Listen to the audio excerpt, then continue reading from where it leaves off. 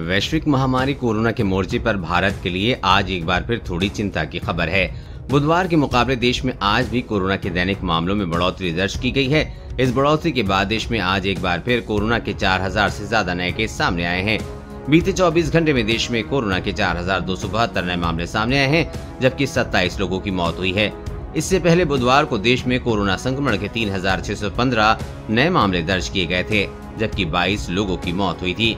कल के मुकाबले आज नए संक्रमित मरीजों की दैनिक संख्या में छह सौ सत्तावन की बढ़ोतरी दर्ज की गई है।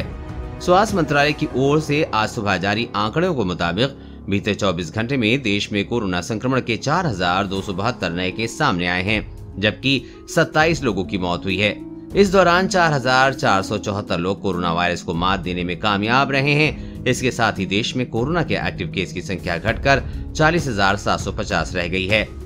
इसके साथ ही देश में कुल कोरोना संक्रमितों की संख्या बढ़कर चार करोड़ पैतालीस लाख तिरासी हज़ार पाँच सौ पचास हो गई है, जबकि ठीक होने वाले लोगों की संख्या बढ़कर कुल चार करोड़ चालीस लाख तेरह हज़ार नौ सौ निन्यानवे पहुँच गई है।